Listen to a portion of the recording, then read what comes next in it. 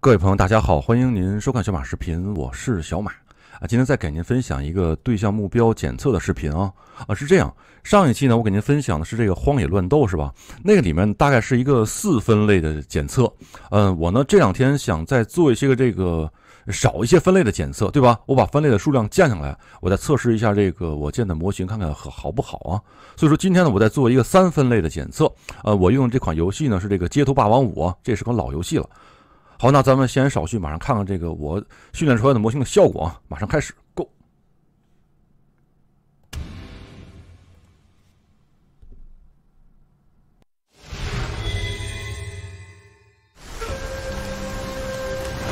私の空風見せてあげる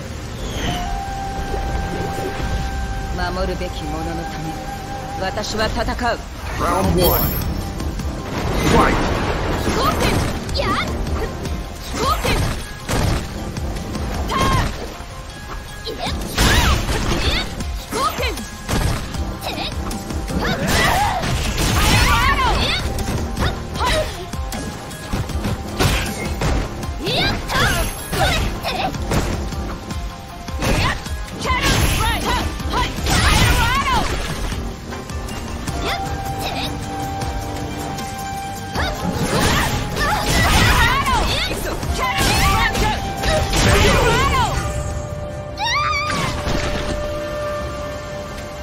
Mission complete. Round two.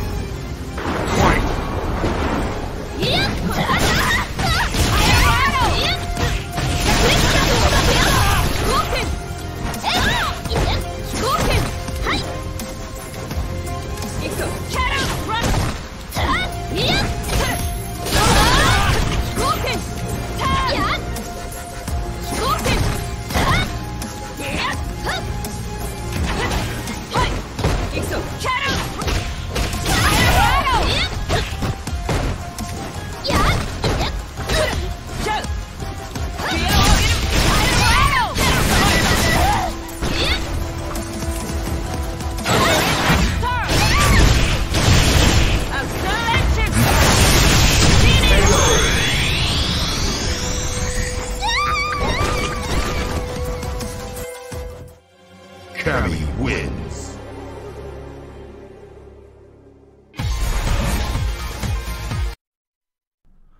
嗯，感觉还是可以啊。呃，不过这个游戏呢速度有点快，感觉有一点跳帧是吧？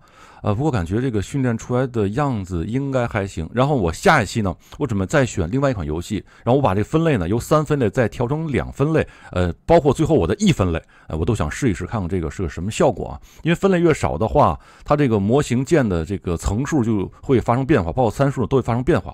呃，我想测试一下也都是。然后有兴趣朋友也随时关注我的吧频道吧。好，那这个视频就这样吧，咱们在今后视频再见喽，拜拜。